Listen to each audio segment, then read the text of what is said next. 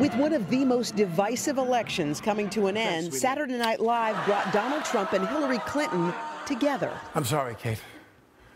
I just hate yelling all this stuff at you like this. Their onstage counterparts, Alec Baldwin and Kate McKinnon, breaking the so called fourth wall. This whole election has been so mean. Running off to Times Square in a show of unity. Capping the end of a tense campaign season that saw Baldwin's Trump and McKinnon's Clinton insulting their way to the White House. He is a bully. Shut up. He started the birther movement. You did. For months, the SNL cast has put their satirical spin on a campaign that's veered toward the gutter. Welcome to the second and worst ever presidential debate.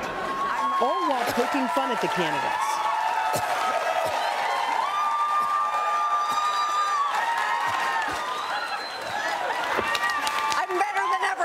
This. I'd like to begin tonight by attempting a casual lean. Portraying the Democratic nominee at times as robotic. Got it. But it's Alec Baldwin's Donald Trump that has garnered the most attention. Are you not entertained? Needling the candidate after the now famous Access Hollywood tape. I deeply apologize.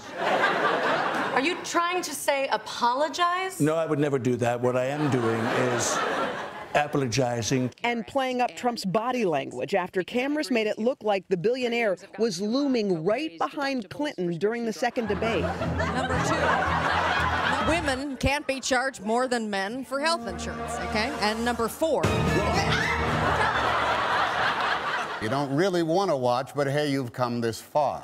Even bringing in Tom Hanks to question Trump over his assertion that the media is out to get him. And all of the newscasters are making me look so bad And how are we doing that? by taking all of the things I say and all of the things I do and putting them on TV.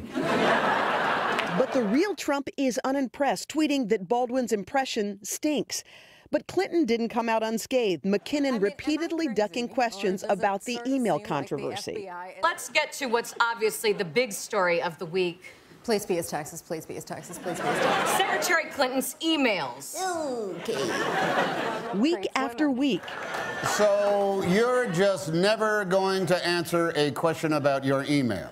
No, but it was uh, very cute to watch you try. now with one of the most heated campaigns ever wrapping up, the comedians are getting serious. None of this will have mattered if you don't vote. And we can't tell you who to vote for, but on Tuesday, we all get a chance to choose what kind of country we want to live in. And live from New York, it's Saturday night! And this election season has been very good to SNL, seeing its best ratings in nearly eight years, and the audience for its premiere alone was 29% higher than last year. But there was something about seeing them, Kate McKinnon and Alec Baldwin, out on the streets Yeah. of New York Yeah. that was actually very moving. I thought when I watched I know. Did you It feel taps little- into something real. Like, you wish that everyone could just hug Yeah. it out after this. Yeah. Maybe and I that will wish happen. you could get from 30 Rock to Times Square that quickly on a normal day. All right, Hoda, thank you uh-huh. very much.